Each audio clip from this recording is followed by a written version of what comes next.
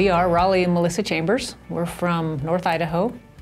Um, we are recently retired and hoping to do some traveling.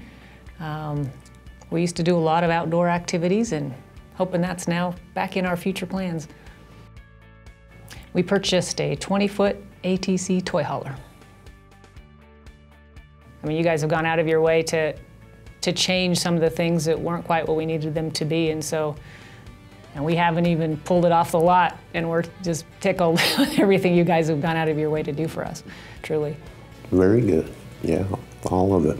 Yeah, as soon as they ran into one issue, Sam was right on the phone with us, and then we didn't even realize how far out of, you know, out of the way he had to go working with ATC to get it customized to meet, you know, to, to deliver what we needed. So.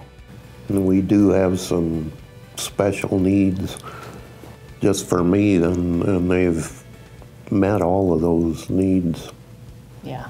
happily. Make us feel like they want to make it work for us, not just Right. because they have to because we bought the trailer. Today we we haven't been here a half an hour and they're out there modifying that bed just to, you know, it, we we thought we needed it one way and we got here we needed something different and they were nothing but friendly and all over it. And the ramp, you know, reinforcing the ramp for Raleigh Yeah.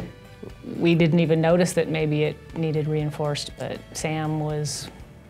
it- isn't just wanting to have the product be good when it drives away. He wants it to last, and that was, that's that's important for us.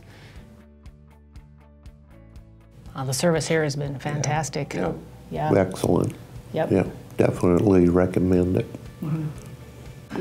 the trailer, the trailer itself is is made so well.